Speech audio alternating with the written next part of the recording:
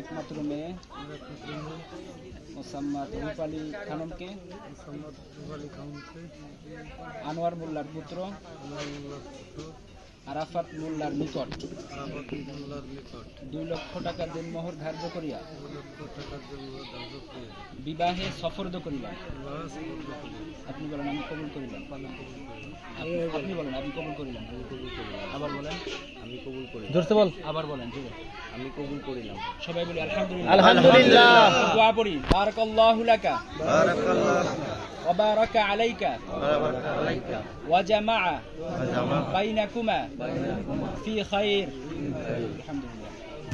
তাহলে সকল দূর শুরু করি দোয়া হবে আল্লাহ اللهم صل على محمد وعلى ال محمد كما صليت على ابراهيم وعلى ال ابراهيم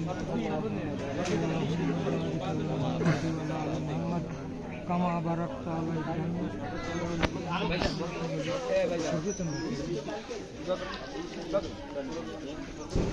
اللهم امين ربنا ظلمنا انفسنا وان لم تغفر لنا وترحمنا لنكونن من الخاسرين